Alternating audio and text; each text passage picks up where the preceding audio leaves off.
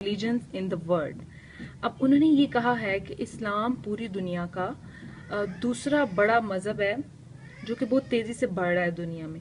और ये graph this is graph graph से शो होता है कि दुनिया में सबसे ज़्यादा किस मज़हब को फॉलो किया जाता है, उसके बाद। अब यहाँ पे सबसे पहला आ रहा है बुद्धिस्ट बुद्धिस्ट, ये सिक्स परसेंट है। उसके बाद है Hindu fourteen percent Muslims twenty one percent ये पूरी दुनिया के मुस्लिम्स बताए जा रहे हैं और क्रिश्चियंस हैं thirty three percent other twenty six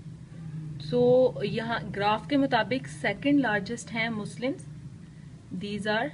second largest religion in the world for this book we will take the Muslim word to mean those countries whose governments have declared that they are Islamic states, for example, Iran, Saudi Arabia, and those countries where the majority of population is Muslim. इस book के मुताबिक हम लोग मुसलमानों के वो आ, आ, मुल्क लेंगे जिनको उनकी गवर्नमेंट ने इस्लामिक स्टेट को डिक्लेयर यानी उनको आ, उनको इस्लामिक स्टेट के नाम से पहचान उनकी करवा दी गई है The Muslim world stretches about 15,000 kilometer east to west. Now, we, I, I will tell you like this. If we think this is our world,